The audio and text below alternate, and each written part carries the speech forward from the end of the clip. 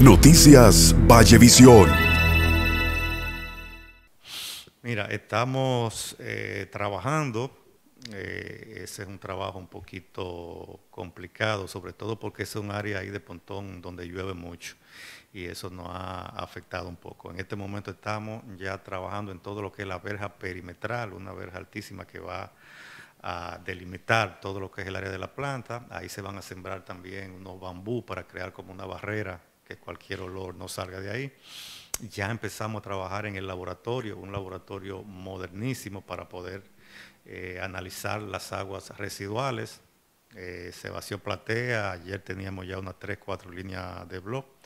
De hecho, el ministro José Ramón Prate estuvo ayer aquí revisando algunos de los trabajos.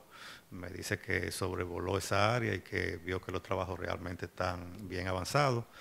El proceso que sigue ahora es la limpieza de todas esas lagunas. Esas lagunas tienen desde que esa planta se hizo en el 72 que no se limpia.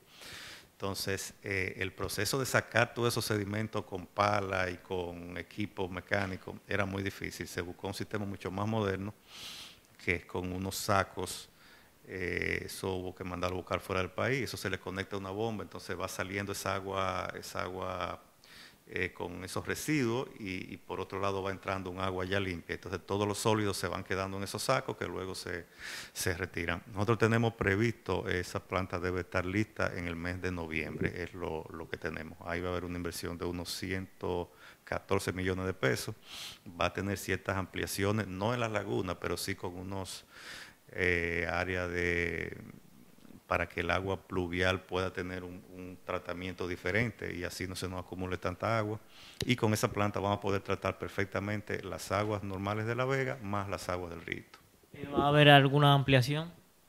No en tamaño, pero sí en calidad. O sea, se van a hacer cosas que, va a poder procesar más cantidad de agua. No es que las la lagunas se van a poner más grandes, pero sí hay unos desarenadores que afectaban, por ejemplo, cuando van camiones a desaguar, si lo hacen en la misma planta, eso conlleva un proceso mucho más lento. Esos camiones ahora van a desaguar algunos desarenadores para que la parte sólida quede ahí y solo llegue el agua. Ese tipo de, de cosas va a hacer que sea mucho más rápido el proceso de, de limpieza del agua.